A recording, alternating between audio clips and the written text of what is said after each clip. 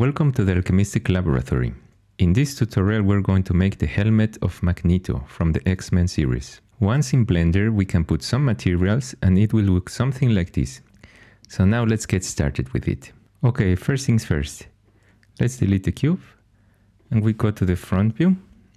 And now from here we can just drag and drop our image reference. And we just move it on the x-axis to the center. Now we go to the side view. Okay, now the next thing to do is just check that these lines are touching at the same height. So that means it's correct. And now we can just grab them and press M and lower the material opacity to around 30% and front only. Great. Now we can just move these images. This one we move a bit to the back and this one a bit to the side. Okay, we go to the front view. So this helmet should be relatively easy. We just need to draw some control point curves. So let's start, for example, here on the top. Just draw one line horizontal and then we can just draw some points down here. Now I would like to have the same points on the floor. So for this, I just go around this area down and we can just accommodate these points.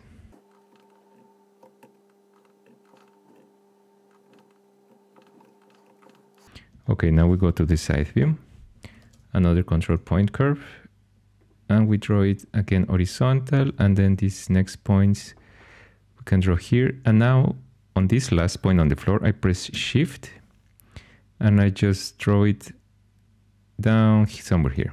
Again, we move the points. Try to do it with more peace at home. Not so fast like me. Now we need to make the other line. So we grab another control point curve, horizontal, and click around. Here again, shift, and we draw it somewhere here.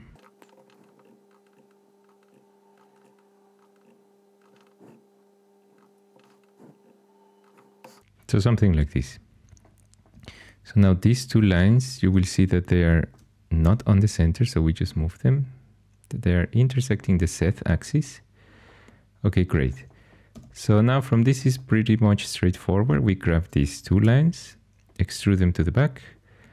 Now we grab again these blue lines, hide them. And now we grab the black edge, the blue curve and the black edge. We press L to loft. Now it is correct in G1 except we delete these other faces and this we can just mirror with alt x, mirror on the x and join.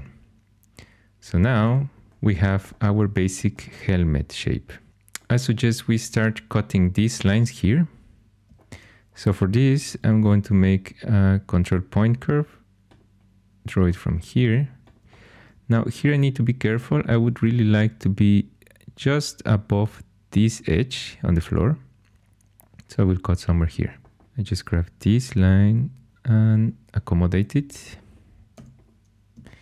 And now we grab another control point curve, draw it somewhere here, and continue until here. This we move down. These ones we can join, and we can press C to cut and accept. So now we can grab this part and you see that now we start to have a shape much more closer to the helmet. Okay, what is next? I suggest we do the same for the, the eye area. Okay, so we start with a control point curve. And let's draw something from here. So we just draw some points around. Okay, now we have our curvature. Should be somewhere like this. You can refine it if you want later. So I'm going to imprint it. And I will have this shape.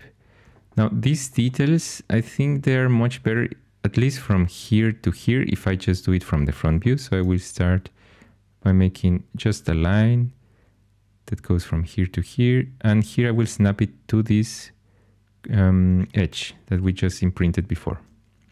Going to mirror it so that I have both sides.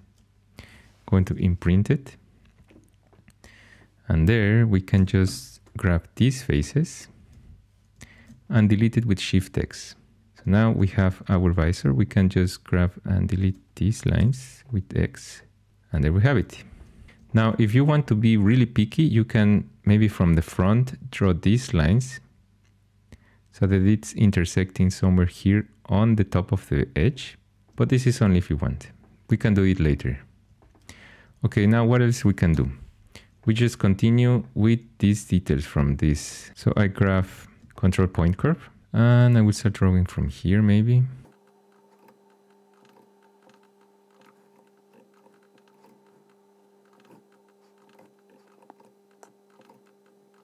Something like this. I grab these lines, move it to the front, join them. I will need to graph this curve and draw another curve here. Join them. And I continue down here as well.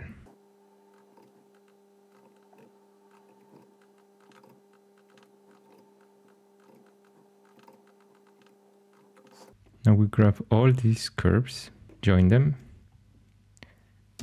I'm going to make this object without any redundant topology. And so now I grab these lines and these ones, imprint them on the helmet, and now we have our details. If you want, you can perfect this shape. So now I think it's a moment to grab a curve, a control point curve here, and just draw it somewhere where we make a little bit of a tangent. So I would say somewhere here and maybe as well here and we'll graph from this point make the curvature at around here. So we grab these two lines we mirror them grab these ones join them and we can imprint this. So from here we can grab this face and this face delete it and this curve we can just delete them. So now it looks much more like our front view. Okay, now what I would suggest to do would be to give some volume to the helmet. So I will select this object, press F and thicken it. And we can just thicken it a bit inside, maybe something like this. Doesn't look so bad. This we can hide a moment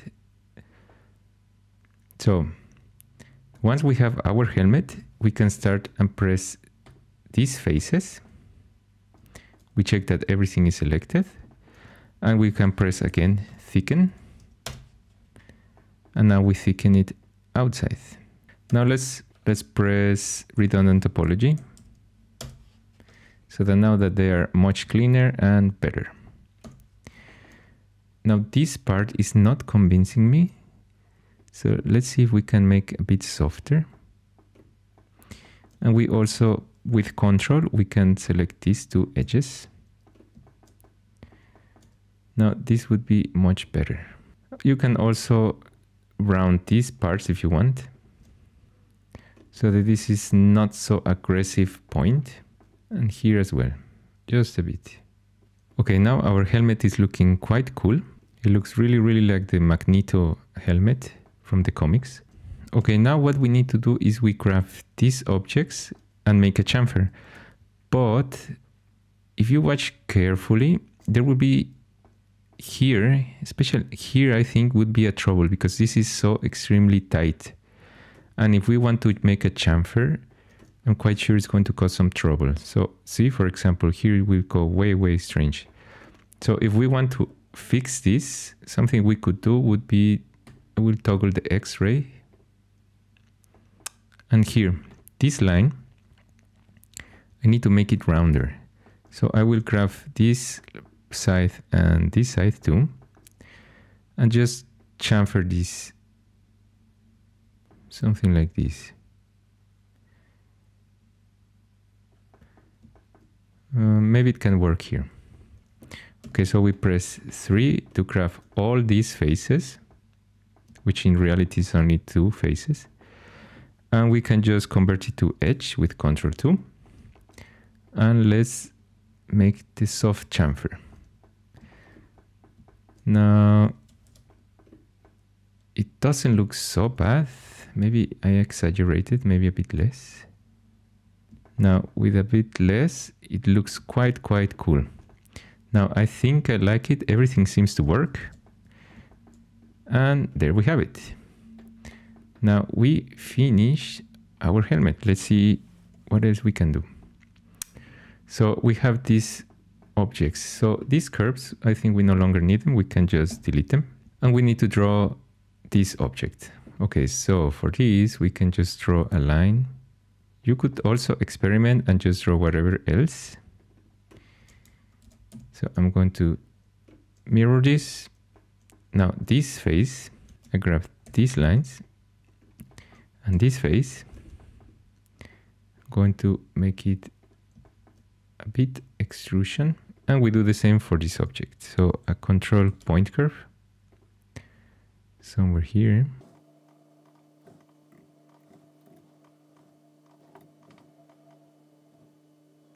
And here I go to the end